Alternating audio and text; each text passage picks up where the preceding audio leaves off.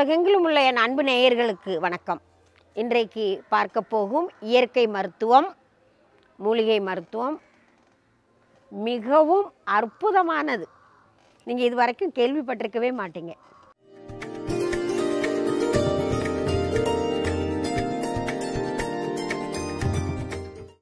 மாம்பழ சீசன் வந்துட்டாலே எல்லாருக்கும் மாம்பழம் இல்லாமல் சாப்பிடவே பிடிக்காது. சாப்பாட்டோட மாம்பழம் இருந்தால் தான் சாப்பிடணும் அப்படிங்கிற மாதிரி மாம்பழ பிரியர்கள் எல்லாரும் நம்ம. டயபெட்டிக் பேஷண்ட்டு கூட ஒரு நாளாவது ஒரு துண்டு சாப்பிட்டுக்கிறேனே.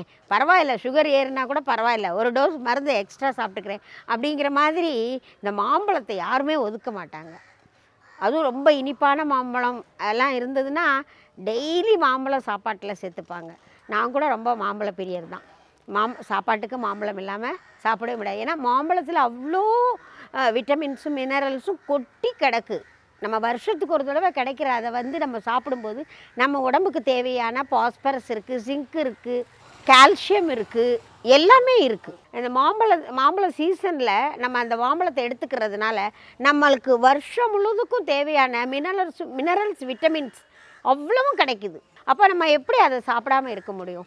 அந்த மாம்பழத்தை சாப்பிட்டுட்டு நீங்கள் அந்த கொட்டையை எடுத்து தூக்கி வீசி எறிவீங்க. அந்த கொட்டையில் உள்ள பருப்பை வச்சு இன்றைக்கி உங்களுக்கு நான் ஒரு மருத்துவம் சொல்ல போகிறேன். எவ்வளோ சிரிப்பாக இருக்கா? கேட்டு பாருங்கள் அதுக்கப்புறம் நீங்களே ஆச்சரியப்படுவீங்க. அந்த மாங்கொட்டைக்குள்ளே இருக்க பருப்பு அதுதான் இந்த மாங்கொட்டையை வெட்டி உங்களுக்கு அந்த பருப்பையே காமிச்சிருக்கேன். மாங்கொட்டையிலேருந்து எடுக்கப்பட்ட பருப்பு. இந்த பருப்பை வந்து நம்ம காய வச்சு பவுடர் ஆக்கிக்கிறணும் மிக முக்கியமானது. எவ்வளோ மாம்பழம் சாப்பிட்டாலும் இனிமேல் கொட்டையை தூக்கி போடாமல் அதை கட் பண்ணி பருப்பை எடுத்து வச்சுக்காங்க. இது என்ன நோயை குணப்படுத்தும். இந்த மாம்பருப்பு என்ன நோயை குணப்படுத்தும்.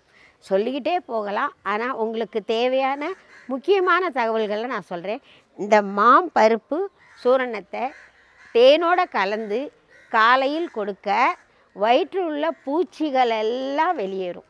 அப்போது உங்கள் குழந்தைங்களுக்கு இப்போது சம்மரில் தான் இந்த மாம்பழமே வரும். வீட்டில் தான் இருப்பாங்க குழந்தைங்கள்லாம். அப்போ இந்த பூச்சி மருந்தை கொடுக்கும்போது அவங்களுக்கு அந்த பூச்சியெல்லாம் வெளியேறி எவ்வளோ யூஸ்ஃபுல்லாக இருக்கும் பாருங்கள் மாம்பருப்பு சூரணம் தேனோடு கலந்து கொடுக்க உங்களுடைய குழந்தைகளுடைய வயிற்றில் உள்ள புழு பூச்சிகள் அகலும். நமக்கும் தான் பெரியவர்களுக்கும் தான். சின்னவங்களுக்கு அஞ்சு கிராம்னா பெரியவங்களுக்கு பத்து கிராம். சரி இந்த மாம் பருப்பு சூரணம். வேறு எதுக்கு யூஸ் ஆகும் அப்படின்னா மோரோடு கலந்து குடிக்க சூடு தனியும். தயிரோடு இந்த மாம்பருப்பை கலந்து கொடுக்க டிசென்ட்ரி டயரியா நிற்கும் துவர்ப்புத்தன்மை உள்ளது. எவ்வளோ பாருங்கள் இன்னும் சொல்லப்போனால் சர்க்கரை நோயாளிகள் இந்த மாம்பருப்பு சூரணத்தை நீங்கள் சாப்பிட உங்களுடைய ரத்தத்தில் உள்ள சர்க்கரை அளவும் குறையும். இதே மா இலையை கொதிக்க வச்சு நீங்கள் சாப்பிட சர்க்கரை அளவு குறையும்னு சொல்லியிருக்கேன். அதே மாதிரி மாங்கொழுந்து வேப்பங்கொழுந்து கொய்யா கொழுந்து சம அளவு எடுத்து சாப்பிட சர்க்கரை அளவு குறைந்த நிறைய பேர் ஃபீட்பேக் கொடுத்துருக்காங்க. எவ்வளோ பெரிய விஷயம். இப்போ சொல்லுங்கள் தூக்கி போடுற நம்ம சாப்பிட்டுட்டு போடுற அந்த எச்சல் மாங்கொட்டையில் இருக்கும் பருப்பு எவ்வளவு சிற்பிக்குள் இருக்கும் முத்து போல். அவ்வளோ வேல்யூ இனி நீங்கள் எல்லாரும் வீட்டில் மாம்பழம் சாப்பிட்டுட்டு கொட்டையை என்ன பண்ணுவீங்க? பத்திரமா சேர்த்து வச்சிடுங்க. பத்திரமா காய வச்சுடுங்க. மறுநாள் கட் பண்ணிவிட்டு அந்த பருப்பை எடுத்து காய வச்சு பவுடர் அரைச்சி வச்சுக்கிட்டிங்கன்னா உங்களுக்கு தேவையான அந்த வயிற்று கோளாறுகளுக்கு நீங்களே மருந்து பண்ணிக்கலாம். மா மா மரத்தில் உள்ள அத்தனையுமே நமக்கு உபயோகமானது தான் மாம்பட்டை நாவல் பட்டை இது எல்லாமே நமக்கு சூரணமாக்கி நம்ம அதை சாப்பிட அதுவும் நமக்கு இந்த மாதிரி நம்மளுக்கு நீரழிவு நோயையும் குணப்படுத்தும் உடல் சூட்டை தணிக்கும். இந்த மாங்கொழுந்து ரொம்பவே நமக்கு பல வகையில் நமக்கு பயன்படக்கூடியது தான். பி நம்மளுக்கு உரிய சர்க்கரையின் அளவை குறைப்பது இல்லாமல் வெள்ளைப்படுதல் என்று சொல்லக்கூடிய அந்த வெட்டை நோயையும் இந்த மா கொழுந்து குணப்படுத்தும். மா கொழுந்து கிடைக்க கிடை கிடைக்கும் போது மா கொழுந்தை யூஸ் பண்ணிக்கலாம். பருப்பு காலத்தில் இந்த பருப்பையும் யூஸ் பண்ணிக்கலாம். மா கொழுந்து வந்து நமக்கு எப்பயுமே கிடைக்கும்.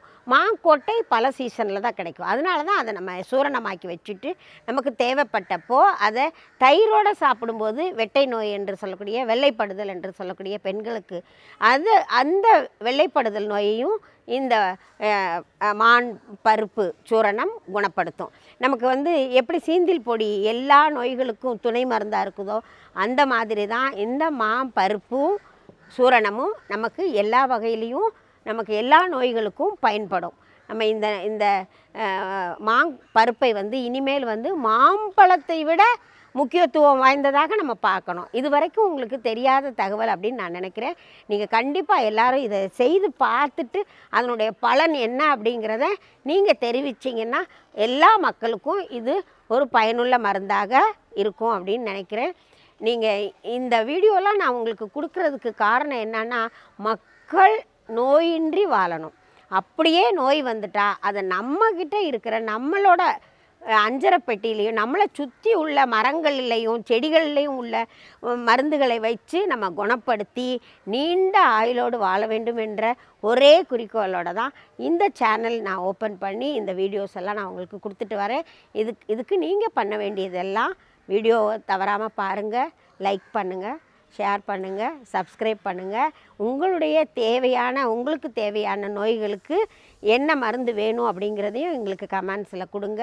அதை நாங்கள் வரும் காலங்களில் உங்களுக்கு எங்கே இருந்தாலும் மூலிகைகளை தேடி கொடுத்து உங்களுக்கு அந்த நோய் பற்றியும் அந்த மூலிகை பற்றியும் சொல்லுவோம்.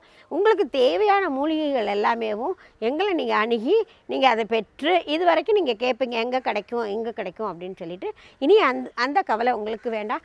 நாங்கள் எங்களோட சொந்த மூலிகை தோட்டத்திலேயும் பயிரிட்டு மக்களுக்கு தேவையான மூலிகைகளை பயிரிட்டு உங்களுக்கு தர்றதுக்காக காத்திருக்கிறோம். அதனால் நீங்கள் உங்களுக்கு தேவையான மூலிகை கிடைக்கலன்னு நினைக்க வேண்டாம். எங்ககிட்ட கேட்டிங்கன்னா உங்களுக்கு நாங்கள் அனுப்பி வைப்போம் வீட்டுக்கே அனுப்பி வைப்போம். தேவை ப- பக்கத்தில் இருக்கவங்க வந்து வாங்கிக்கலாம். மூலிகைகளை வளர்க்கணும்.